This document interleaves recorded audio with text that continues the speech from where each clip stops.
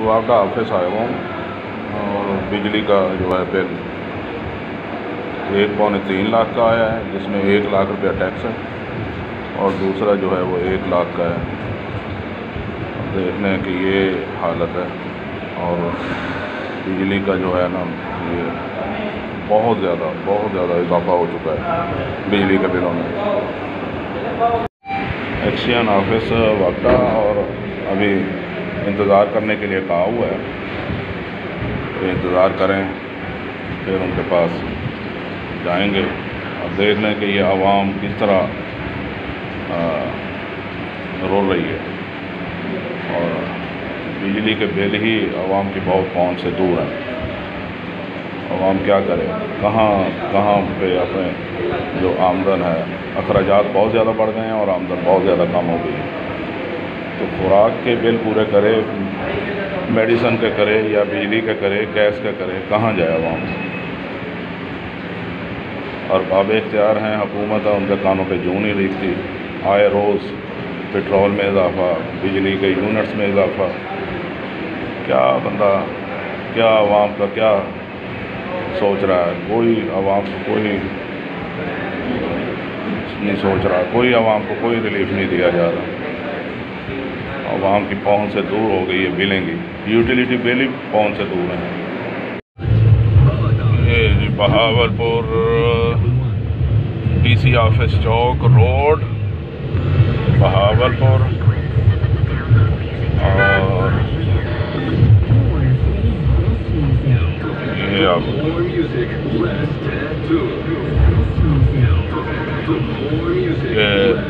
अब ये ख़ानदान ने जो तालीमी खदमात सर अंजाम दिए हैं, उनके लिए इदारे बनाए हैं। उनके पास से मैं गुज़र रहा हूँ और ये एस डी हाई स्कूल की दीवार आ गई।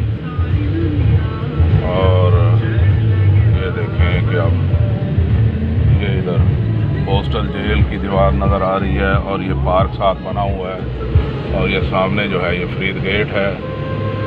और ये जो है ये टेक्निकल हाई स्कूल ये भी आबासी तौर पर बहुत पुराना।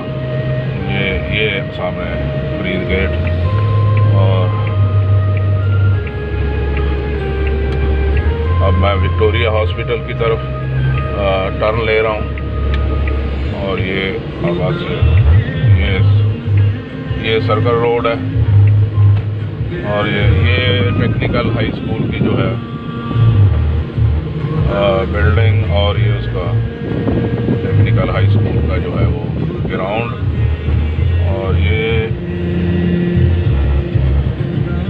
ये प्रिंटिंग प्रेस वाली यहाँ पे रश होता था, लेकिन अब इसका रिवाज जो है वो ख़त्म हो चुका है। अब मैं जान ले रहा हूँ बैक साइड जो है इसकी टेक्निकल हाई स्कूल की बैक साइड ये देखें, ये टेक्निकल हाई स्कूल की। ग्राउंड है।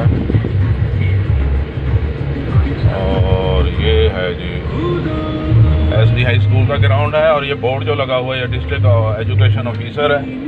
मुझे यहाँ पे मैंने एक दोस्त से मिलना है। तो फिर,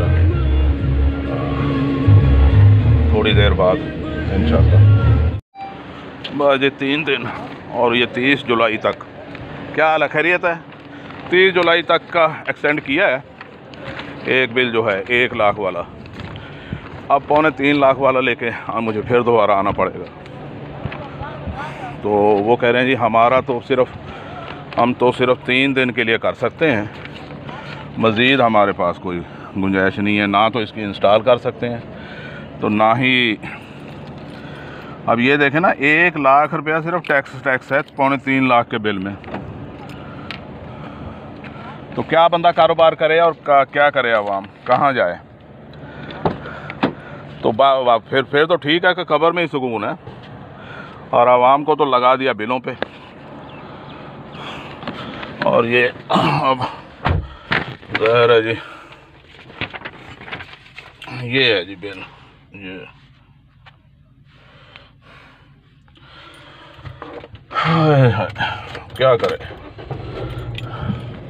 आवाम की बद दुआएँ हैं।